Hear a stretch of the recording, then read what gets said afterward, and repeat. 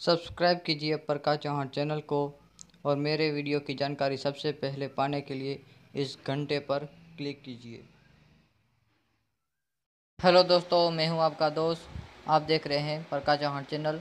तो आप इस चैनल पर नए हैं और आपने अभी तक इस चैनल को सब्सक्राइब नहीं किया है तो इस वीडियो के नीचे लाल अक्षर में सब्सक्राइब बटन है, उस पर क्लिक करके आप मेरे इस चैनल को सब्सक्राइब कर सकते हैं। सब्सक्राइब करने के बाद उसके बाद जो बेल आइकन आएगी, उस पर क्लिक करेंगे तो आपको मेरे वीडियो की जानकारी सबसे पहले मिलती रहेगी। तो प्लीज़ घंटे पर क्लिक करना ना भूलें। तो आज के इस वीडियो में हम एक ऐसे ऐप के बारे में बात करेंगे, जिससे आपके फ़ोन में भले ही फिंगरप्रिंट सेंसर ना हो, फिर भी आप अपने मोबाइल में फिंगरप्रिंट लॉक लगा सकते हैं। तो इसके लिए आपको एक ऐप की ज़रूरत पड़ेगी, जो आपको प्ले स्टोर में मिल जाएगा। तो चलिए उस ऐप को डाउनलोड करते हैं।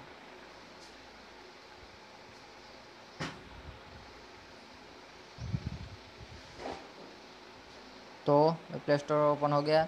तो उसमें हमें लिखना होगा, उस ऐप का नाम है आइस अनलॉक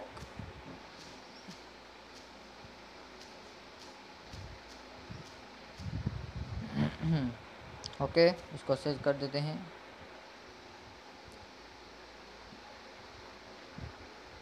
ये रहा। इसको मैंने ऑलरेडी इंस्टॉल कर लिया है तो आप भी इसको इंस्टॉल कर लीजिए। तो इसको ओपन करते हैं। ओके आपको इसको ऑन कर देना है। तो चलिए हम फिंगरप्रिंट लॉक लगा देते हैं और कैसे ये काम करता है।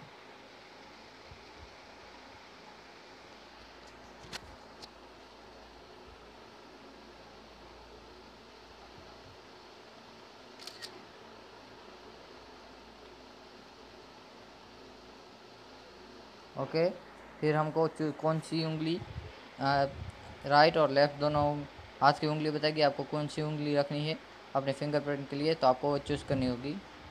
तो मैं ये चूज़ कर लेता हूँ लेफ़्ट हाथ की। ओके तो फिर आप इसको लगा देते हैं। इसको आप में सात बार ऐसे करना होगा, ऐसे उंगली रखनी होगी। और ये ऐप हमारी फ़ोटो खींचेगा उंगली की।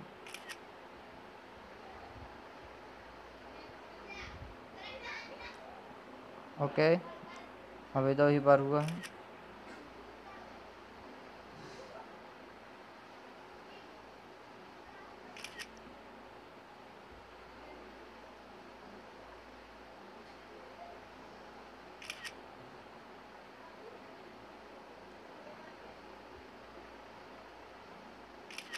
ये सात बार कंप्लीट हो जाएगी तो हमारा मोबाइल में लॉक रह जाएगा।